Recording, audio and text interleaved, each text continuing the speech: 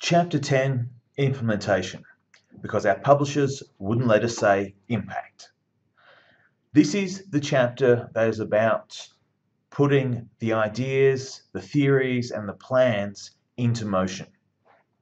And it's about how you document going from, hang on a minute, I've got a great idea, to actually delivering and then working out during the delivery how well you're approaching your metrics, how well you're measuring off those metrics, and how well you're succeeding. So there are different types of implementation that the chapter covers. And again, the chapter has a real focus around the idea of e-marketing as part of a bigger picture, that you are implementing something because you've got a bigger game plan. So this first issue is the idea of the cost-oriented implementation, where what you're looking at here is you want to have the same sort of outcome but for less investment. This is where we address that dreaded question of marketing being a cost.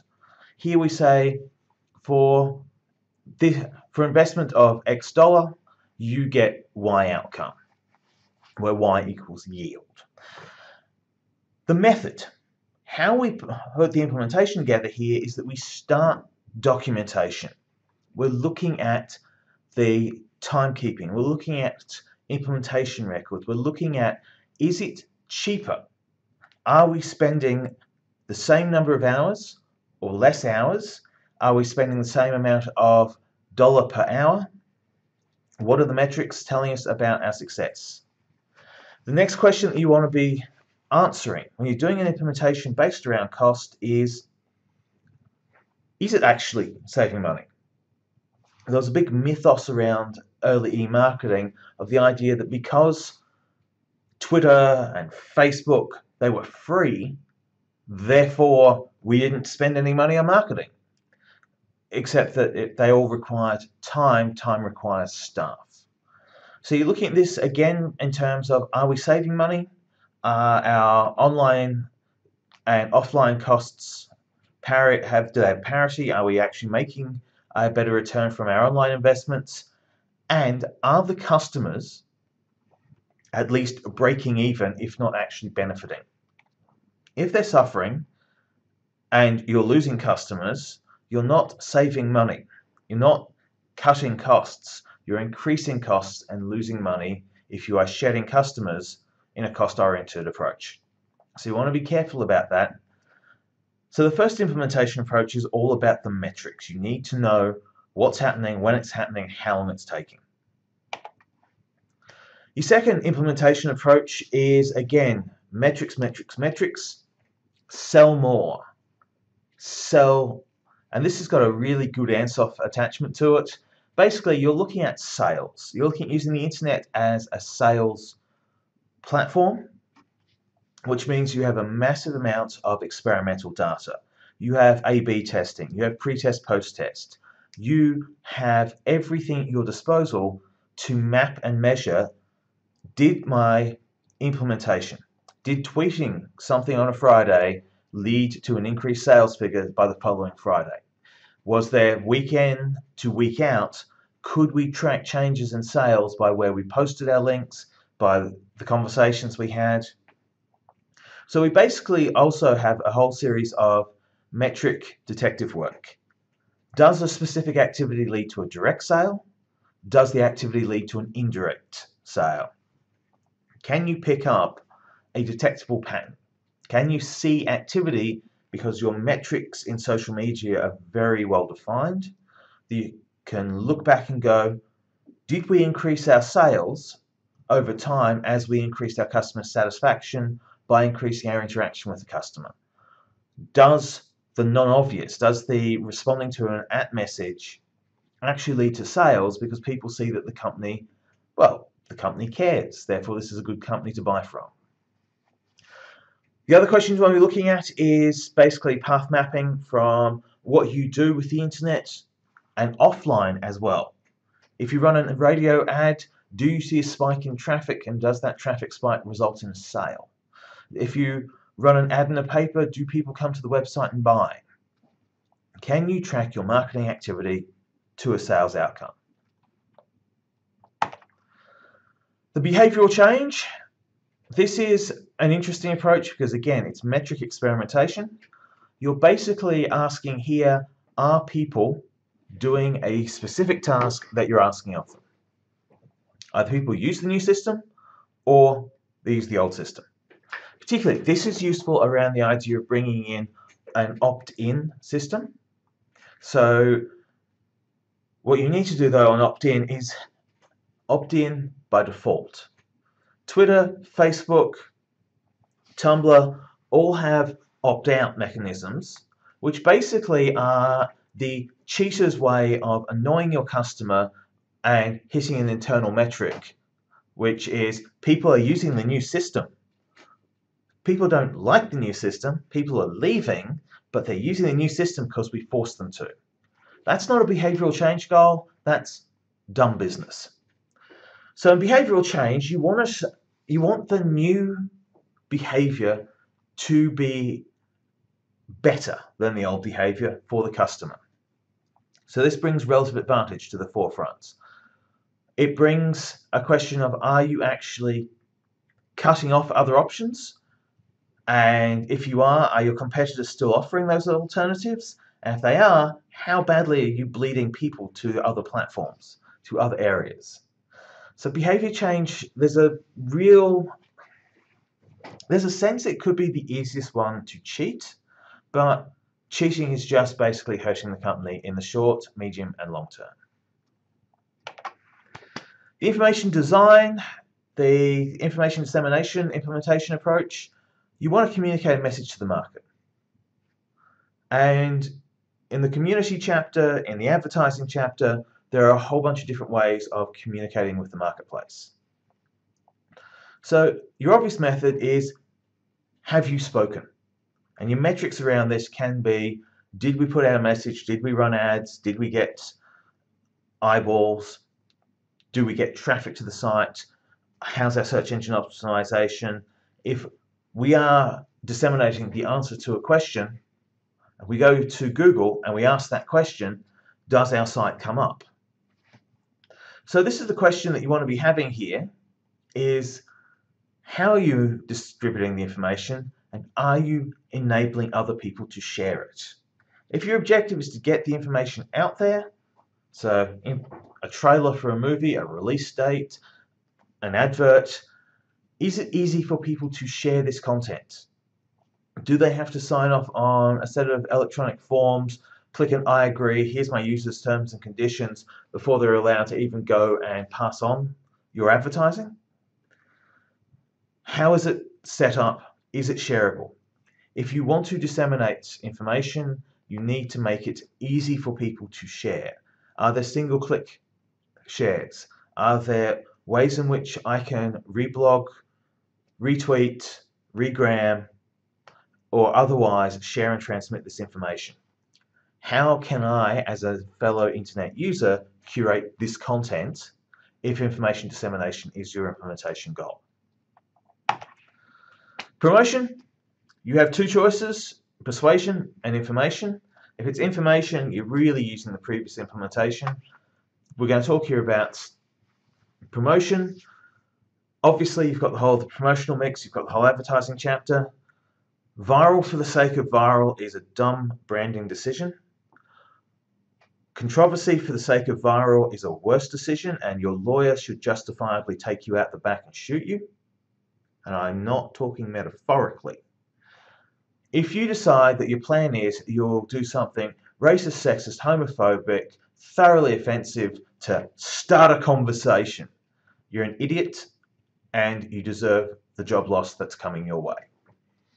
If you want people to talk about your product, it needs to be valuable and meaningful conversation.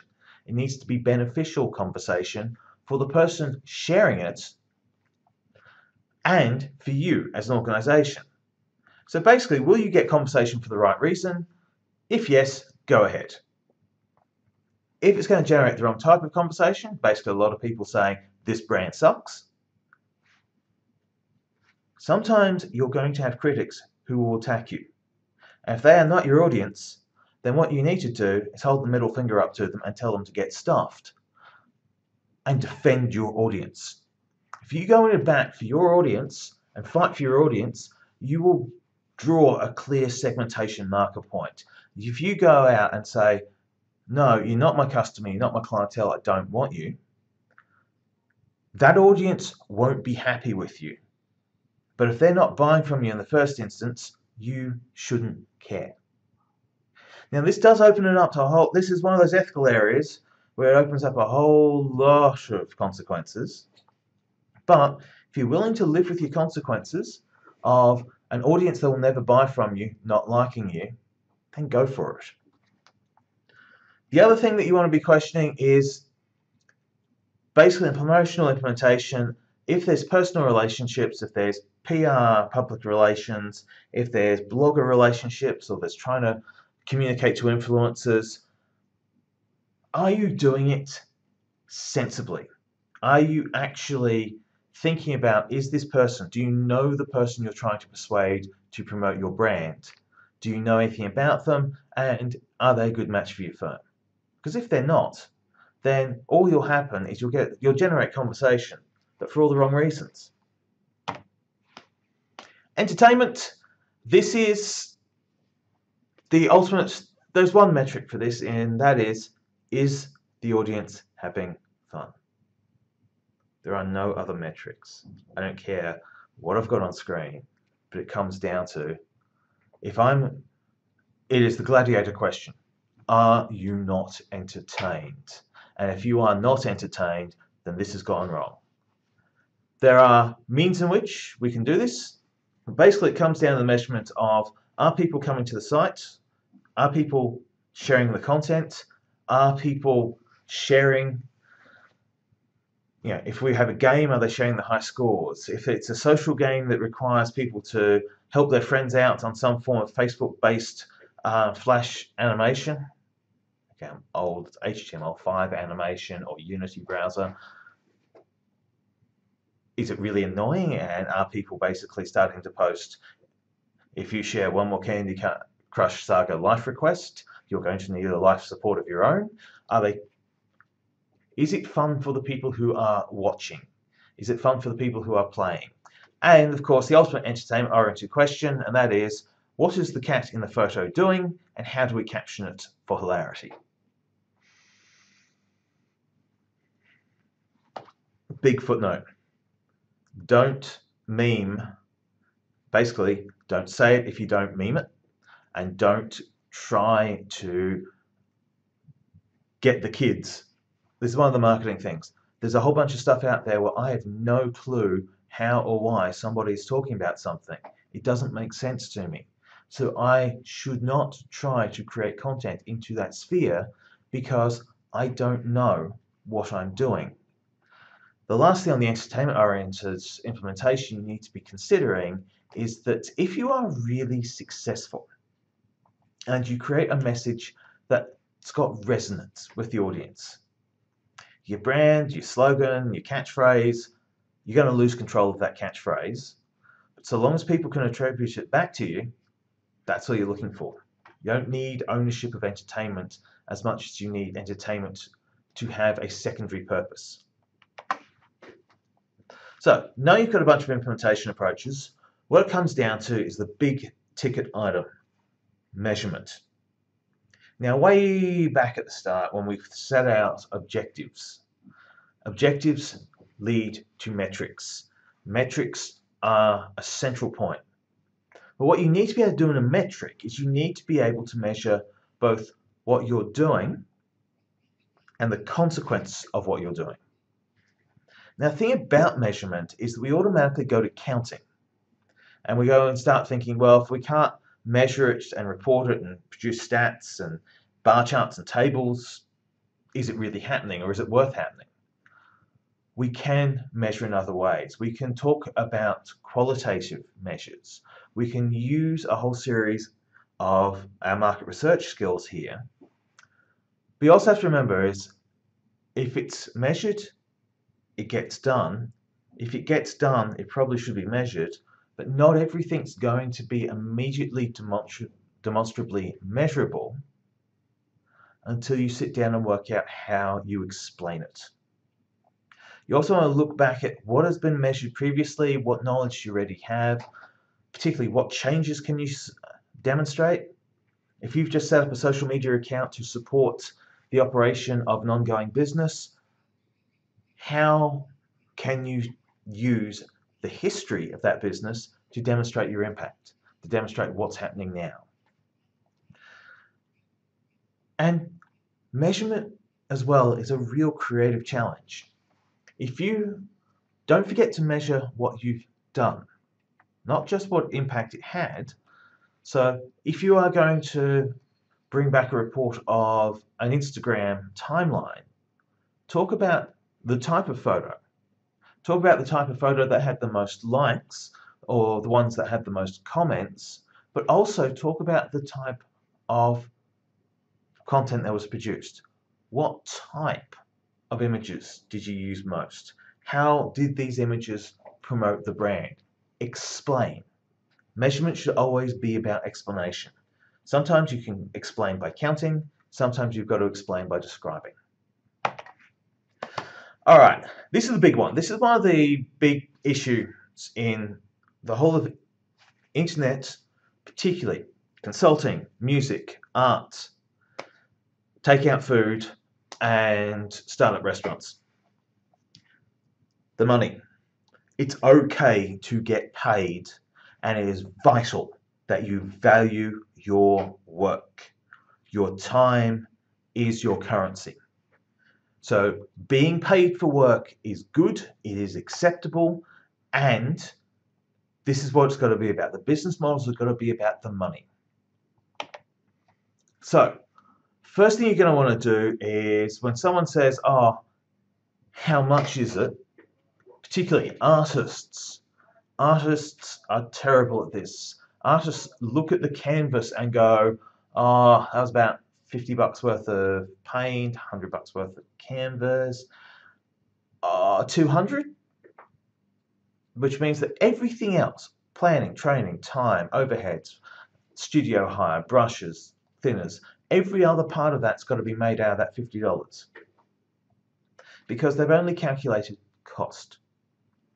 The other thing that you're going to want to do is you want to, you'll probably want to discard the preparation, planning, research, and the backgrounding and go, well, it doesn't really count. Sort of.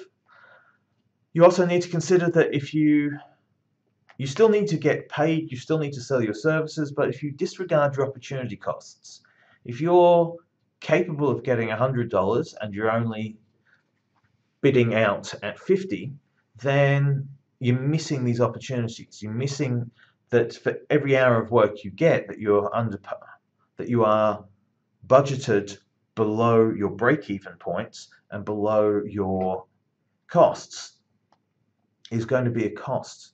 So basically, if it's going to cost you 50 bucks an hour to operate and you sell yourself up for 40, every hour you buy is going to be bad news for you. Five hours in, you've already lost. So be careful about this. You're going to want to discount your own costs. You're going to want to ignore costs. And I worked for a private sector firm where we didn't factor in rent. When we were budgeting what it cost us to produce a particular product, we left out the office rent. Because it was just like that thing that we, it's not cost towards this project. Except, of course, we weren't making enough money per product to keep the lights on and pay the rent because our profit margin wasn't high enough to cover our costs. So effectively, we didn't have a profit margin, we had a loss margin. Don't do that. It's bad. So, expenditure to revenue. Here's a couple of the mindset things. One, you've got to spend money. That's money is a problem, money is problematic. We have been taught as a society not to talk about money, not to talk about bidding and billing. Uh, there's a lot of cultural baggage around ensuring that the people who have the money get to keep the money. If you've got money, you'll be encouraged to spend it. If you spend it, you'll be encouraged to cut it back. If you're cutting back, you'll be told to think of everything as a cost. But the I in ROI stands for investment.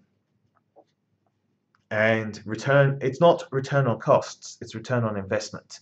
If you are not investing, If you are not spending money on your investments, then you're not going to get a return. So something's got to be spent in order to get something back. So time, trade, time, money, and effort can be sold, can be used to buy time, money, and reward. And I go through this again. I come back to this because this is one of the it's the headspace issue. I've been in this business for a long time, and valuing your own work is still a difficult challenge. It's still an urge to underprice to get the contract, but that is basically how you end up with winner's curse, where you have bid successfully bid for a contract that will now cost you money to deliver. You don't want to be in that spot. You want to make certain that you have a price on your work and that that price is fair, it covers your costs, and it's reasonable. All right, there's a whole bunch of stuff on budget allocations. Again, what I want you to do with this is I want you to start thinking about what is the optimal set of information you have to work with to establish your budgets. Sometimes it's just going to be guesswork. You're going to go, okay, I've got this amount of currency. I have a bucket of money. I will keep dipping into the bucket till I run out. I will hopefully top the bucket up with sales, but basically, sometimes it can be a literal, actual physical bucket where you keep um, change, coins, and currency. Sometimes it's going to be a PayPal account. However it works, you've done, you're doing a commerce degree, you've got some basic accounting up your sleeve. You might know a couple of mates in accounting. Get their help. Trade your time getting their personal brand up for their time getting your budget sorted. So let's talk revenue. There are four revenue streams and they are labeled 0 to 3 because revenue 0 is just that. Revenue 0 is a cost. Revenue 1 gets you some money back. Revenue 2 is mostly about things that aren't the money, but money is a secondary. And revenue three is we are doing this for the dollars. We're doing this for the cash. All four are a conscious, deliberate strategy and the strategy you need to make. So revenue zero, this is the idea that everything you're doing with the internet under this banner is not intended to make money. This can be a government campaign, this can be a, an advertising campaign, an awareness raising campaign It really shouldn't be a sales campaign, but it, okay, it's bad if it is. But basically, behavior, entertainment, promotion, information. You are not here to return money, you're here to achieve an outcome, and you're spending money to get there. This is a cost. So this is the first thing. Revenue zero is going to have to be funded by something else. If you don't have the money, you can't afford to do this. If you're going to do that, there's a whole, each of the revenues has a funding source. The book goes into a bit more detail, but these are concepts like freemium.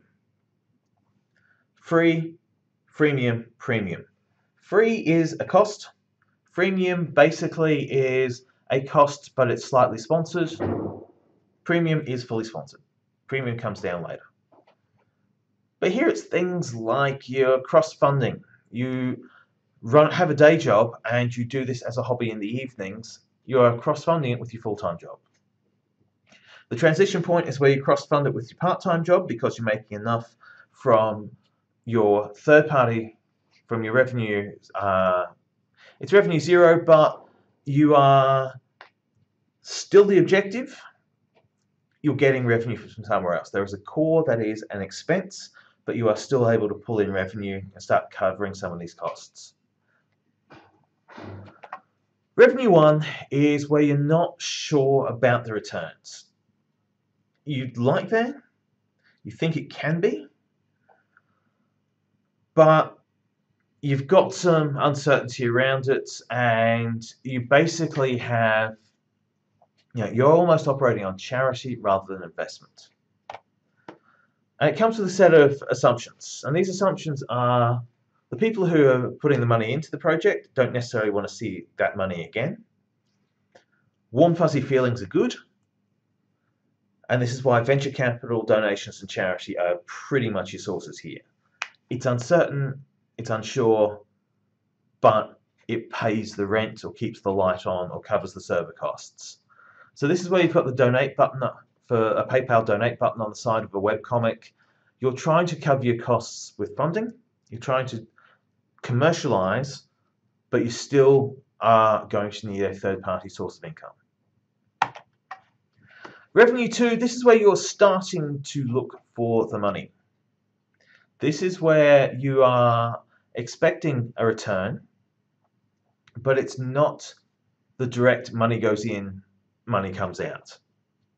So you're looking at this from the point of view of you are using your e-commerce presence. So if we take a revenue two plan for Instagram, you have a physical coffee shop. The coffee shop has a turnover. You are using Instagram to create loyalty and to acquire new customers. You're not making money. Instagram isn't paying you a check at the end of each month. But success in that field of the coffee become the coffee shop becoming well known, a strong brand, loyal brand, whatever it works, can be linked back to okay, we're selling more coffee, therefore we're making more money as a result of the social media activity. These are harder, but these also bring in a bunch of other concepts, and these are things like product placement. These are things like sponsorship, that you are able to go and barter your access to your audience in exchange for cash, goods, or some other support. So this is, again, with Revenue 2, you are covering costs and you're trying to cover more than just your costs. And you're looking for creative ways to get that money in. Revenue three is the money. This is open the wallet, break out the credit card, click the button that says buy now, hit the button that says pay through PayPal. However you want to talk about it. The game is simply this profit. Cover your costs, make back more than you put into the process. Every objective can make a financial return. Every one of those objectives, packet mix objectives you see in that book has the capacity for profit and direct return. So basically what you think about now is how do I make the money? And this is where we look at things like service. Selling services online, not through necessarily Fiverr, but through consultancies, through public speaking fees, selling physical objects. And for those of you who decided to make something, print-on-demand services, 3D printing, Shapeways, Zazzle, there are a range of product brokers out there. This is where you put a book up for sale on Amazon. You write a digital PDF, you put that up for sale, you get paid money when people buy your product. So this is what your money spinners are. Your money spinners are direct. They are all about coming to someone buying from you. You also have little things where being a marketer comes in handy when you start thinking about merchandising. People walk around the place wearing brands on their clothing that aren't clothing companies. You can sell Harley Davidson coffee cups. Nothing says I'm a rugged biker who lives life on the extreme than a little thimble-sized shot glass with a Harley Davidson logo on it, particularly if it's sparkly pink and can double as an egg cup. This is the merchandising. This is where thinking beyond just what's my core product, what's my actual product I'm selling to people, and what are the spin-offs? What are the products I can offer to my existing audience? Spinners Money spinners number two, brokerage. If you are in the position to be able to on-sell, being hmm. the distribution channel, being the shopkeeper, affiliates, commissions, if you are reviewing products and you are able to get an affiliation so that every time someone clicks through from your review and buys, you take a slice of the sale. Sponsorships, commercial arrangements, commercial trade-off. We've seen a lot of those in Australia in the Instagram field where Tourism Australia goes, we will pay for you to fly to a destination, stay there for a week and blog the hell out of it. Here's the hashtag. Here's the declaration it's sponsored. Here's a bunch of money. And because this person is now providing a bunch of interesting content, here's your audience. Lastly, selling of advertising. Look, this is the one that hasn't been done very well. And we're talking here about a 20 year history.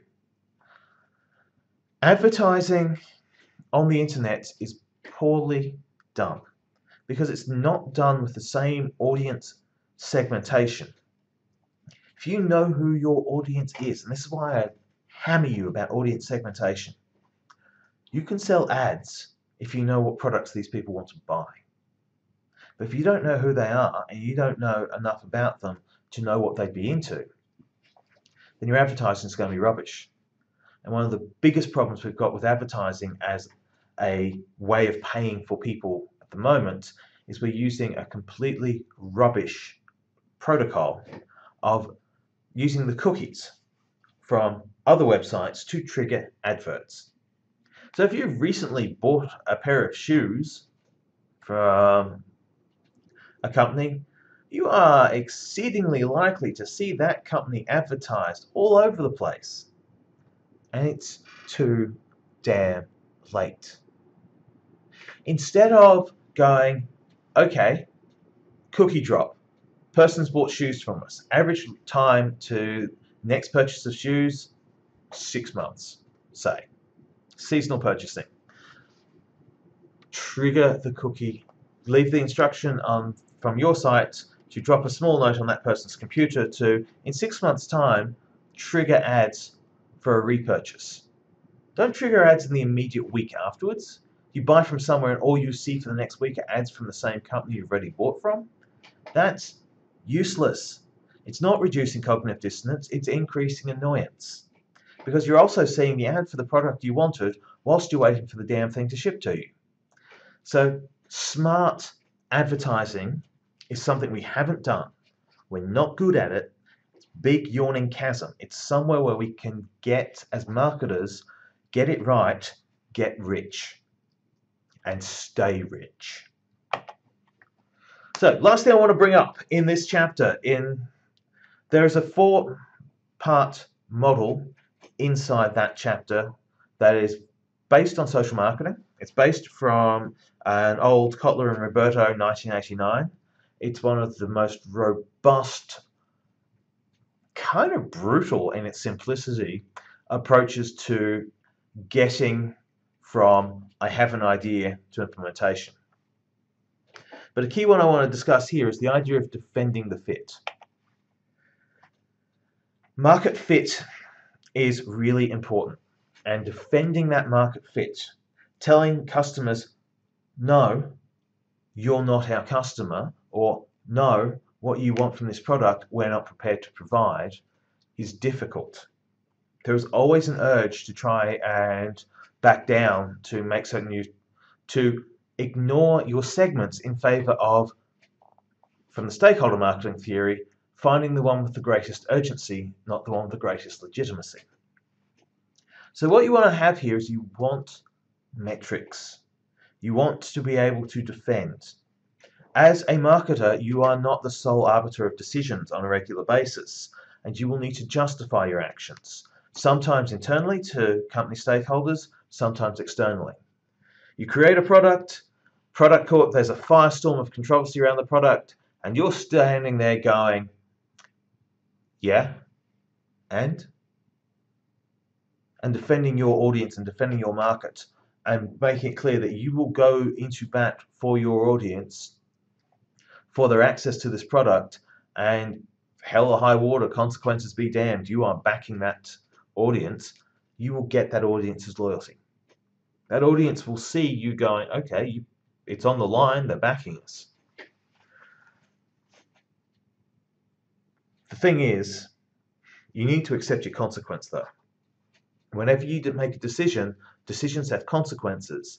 Accepting your consequence as something that you desired and living with your consequence is a key part of doing the defense of the fit. You need to know the impact.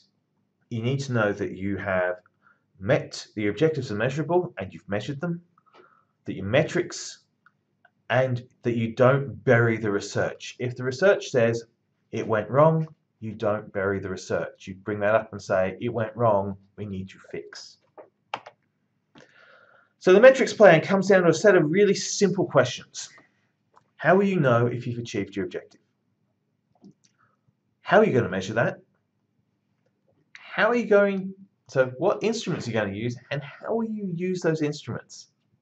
Oh, measure it with a survey. Who, what, where, what questions, when, how soon after purchase, Detail, detail, detail. What market research will you do for your site? That's both ongoing satisfaction and new market satisfaction. And what scanning monitoring are you going to use? So the last thing here is being effective. And that basically is know who you serve, know who your market is, and serve that market accept your consequences of serving that market. And your consequences could be ginormous profit. It could be really angry counter customers. It could be both. But accept these are the decisions I've made and these are the consequences I will live with. Because the killer of an online operation is when it goes, I'm going to address audience A, audience B gets very angry, they are they don't like you. If you back down on audience A because they hate audi audience B hates audience A, you lose audience A, but audience B isn't just going to go, well, now I'll buy your product.